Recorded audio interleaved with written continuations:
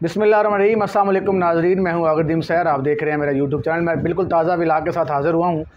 नाजरीन, अभी कुछ देर पहले इस्लामाबाद हाई कोर्ट में इमरान खान की पेशी थी। और सबसे पहले तो इस्लामाबाद हाई कोर्ट के अंदर अलकादर ट्रस्ट केस जो है, उसमें इमरान खान की दो हफ़्ते के लिए ज़मानत मंजूर की गई। और उसके बाद सुप्रीम कोर्ट ने कहा कि इमरान खान के जितने भी मुकदमात हैं आज की तारीख तक, उन तमाम मुकदमात में किसी एक पे भी इमरान खान को नहीं पकड़ा जा सकता। पकड़ने से पहले यहाँ जो है अदालत को बताना होगा, अदालत को जो है वो नोटिफिकेशन दिखाना होगा या इमरान खान को पहले जो है वो जो नोटिस है वो भेजने होंगे, उसके बाद जो है वो गिरफ़्तारी अमल में लाई जाएगी। इसके अलावा ये कहा गया कि आज की तारीख के बाद भी, नौ मई के बाद भी जो मुकदमात हुए हैं, उन मुकदमात में भी इमरान खान को जो है वो गिरफ़्तार नहीं किया जा सकता। ये बहुत बड़ी जो है, बहुत बड़ा जो है वो रिलीफ मिला है। सुप्रीम कोर्ट की तरफ़ से भी कल मिला और आज जो है इस्लामाबाद हाई कोर्ट की तरफ़ से भी इमरान खान को जो है ये रिलीफ मिला है। आप इस दौरान देखें कि मियाँ शबाज शरीफ साहब जो वज़ी अजम पाकिस्तान हैं, उन्होंने जो प्रेस जो वफाकी कबीना के इजलास से ख़ताब किया है, वो इजलास का ख़ताब जो है वो बड़ा सुनने वाला है। उसमें वो सिर्फ़ रोए नहीं है, सर पे बाजू रखने के अलावा बना, सारा कुछ उन्होंने किया है और बार बार वो इस बात पर जो है वो ज़ोर दे रहे हैं कि इमरान खान को, के बारे में चीफ जस्टिस साहब ने ये कहा कि आपको अदालत में देख कर जो है वो खुशी हुई। इस बात पर उनको इतना दुख है कि कल मरीम नवाज़ ने जो ट्वीट किया और इतना करख्त लहजा इस्तेमाल किया चीफ जस्टिस के बारे में, अदालतों के बारे में, मैं समझता हूँ ये धमकियाँ हैं जो एक सियासी पार्टी की तरफ़ दी जा रही हैं। दूसरा मरीम औरंगज़ेब ने जिस तरह धमकी दी, वो भी मैंने कल वाले विलाग में आपसे शेयर की, उसका लिंक जो है वो नीचे मौजूद है। उसके अलावा शबाज शरीफ का ख़ताब और कल ख्वाजा आसफ़ की तकरीर जितने भी ये मुस्लिम लीग नून की तरफ़ से ख़ास करके जो बयान आ रहे हैं, वो जो है, उसमें बार बार एक ही बात बताई जा रही है कि लाडले को जो है, वो क्यों इतना रिलीफ जो है, वो दिया जा रहा है। बिलावल भुट्टो ने कल जो है, जो सबसे बड़ी पाकिस्तान की ख़ुद को जमहूरी पार्टी कहती है, जमहूरी चैम्पियन कहते हैं, कल बिलावल भुट्टो जो सियासी हवाले से ना बल्द हैं, ना बालग हैं, उन्होंने कल इंतहाई जो है वो जो स्टेटमेंट बुरी दी है पाकिस्तान तरीके इंसाफ के बारे में कि किसी भी सियासी जमात को दहशत गर्द कहना मेरा ख्याल से ये इसकी जो है मजम्मत होनी चाहिए। और बिलावल भुट्टो ने कल सरेआम पाकिस्तान तरीके इंसाफ को दहशत गर्द कहा और इमरान खान को जो है वो दहशत गर्द कहा। तो ये दहशत गर्द पार्टी अगर आज पीपल पार्टी तरीके इंसाफ को कह रही है तो मैं बिलावल भुट्टो से पूछना चाहूँगा कि जिस वक्त बेनज़ीर भुट्टो शहीद हुई थी और उसके बाद पाकिस्तान को तीन दिन तक यरगमाल बनाए रखा जियालों ने और तीन दिन तक मुल्क की ईंट से ईंट बचा दी और अरबों का नुकसान हुआ था, वो सारा तारीख में मौजूद है। अगर बिलावल भुट्टो साहब तारीख में जाना चाहें तो उनको सारा कुछ नज़र आ जाएगा। तो उस वक्त इनको वो जमहूरी चैम्पियनशिप नज़र क्यों नहीं आई, जो आज जो है वो पीटीआई को दहशतगर्द कह रहे हैं? तो मेरा ख्याल से अगर उस तनाजुर में देखें तो पीपल्स पार्टी जो है, उस पर भी दहशतगर्दी का लेवल लगना चाहिए कि उन्होंने भी सिंध के अंदर एम क्यू एम के साथ जो हमेशा जो है उनके साथ टेबल पर बैठे और उनके अच्छे बुरे कामों को सपोर्ट किया तो इसका मतलब हम क्या समझें? बहरहाल एक तो बात इमरान खान की ज़मानत के हवाले से हो गई कि उनको जो है वो रिहाई मिली। दूसरा ये कि इस वक्त पाकिस्तान तरीके इंसाफ की तमाम मरकज़ी लीडरशिप जो है, वो हिरासत में है। ये क्या क्या हम इस तरह किसी सियासी पार्टी को दीवार से लगा सकते हैं? क्या इस तरह किसी सियासी पार्टी को ख़त्म किया जा सकता है? मैं सब के नाम नहीं ले सकता कि एक दर्जन से ज़्यादा जो जो कायदीन हैं पाकिस्तान तरीके इंसाफ के, वो भी जेल, जेलों में फेंक दिए गए हैं। और मुख्तलिफ़ डिस्ट्रिक्ट से सोशल मीडिया हेड्स और सूबाई असम्बली के उम्मीदवार, कौमी असम्बली के उम्मीदवार और जितने भी सोशल वर्कर हैं पाकिस्तान तरीके इंसाफ के, उन सबको भी गिरफ़्तार कर लिया गया है। तो ये मेरा ख्याल से ये जिस तरह डेमोक्रेसी पर शब खून मार रहे हैं, ये तो किसी मार्शल ला के दौर में भी नहीं होता।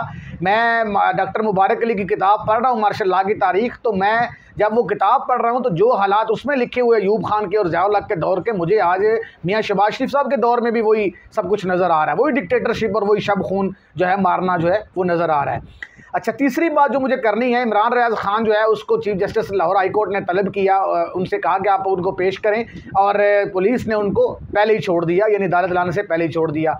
आफ्ताब इकबाल को पेश किया गया, और उसके बाद उनको रिहा कर दिया गया। सहाफ़ियों के ऊपर जो गिरफ्तारियाँ सहाफ़ियों की शुरू की गई हैं। मैं उसकी भी मजम्मत करता हूँ। मैं सिर्फ़ इतना पूछना चाहता हूँ कि वो सहाफ़ी जो पाकिस्तान के बड़े चैनल्स पर बैठे हुए हैं, जो हर दौर में मुस्लिम लीग नून के काले धन को भी सफ़ेद और पाकबाज करने की कोशिश करते रहे हैं तो क्या उनकी गिरफ्तारियाँ अमल में नहीं लानी लाई जानी चाहिए?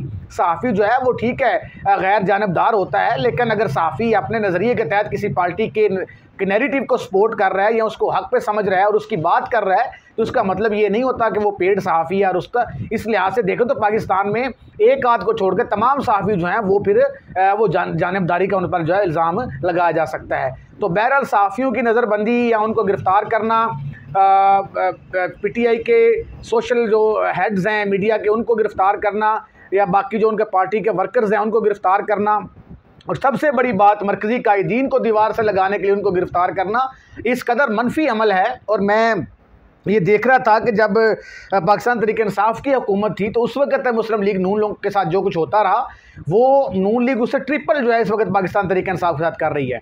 इमरान खान को गिरफ़्तार करना कानूनी था या गैर कानूनी था, लेकिन जिस तरह डंडे मारकर उसको गिरफ़्तार किया गया और रेंजर की मदद तलब की गई, इससे क्या तासुर दिया जा रहा है? दूसरा मैं एक अहम पैगाम ज़रूर दूँगा कि 9 मई को पाकिस्तान के अंदर जो कुछ हुआ, उससे हमारे तमाम मुआज़ इदारों को जो है वो कुछ ना कुछ सबक हासिल करना चाहिए कि सियासतदानों की जंग में इदारों को हम क्यों गुतम गुता कर रहे हैं। अदालतें भी हमारी हैं पाकिस्तानी फ़ौज भी हमारी है और पाकिस्तानी पुलिस भी हमारी है। अगर इन तीनों इदारों को हम अपनी जंग के अंदर धकेल देंगे और इनको बदनाम करने की कोशिश करेंगे, मैंने कल भी अपने विलाग में जो कोर कमांडर हाउस में हुआ, मैंने उसकी मजम्मत की।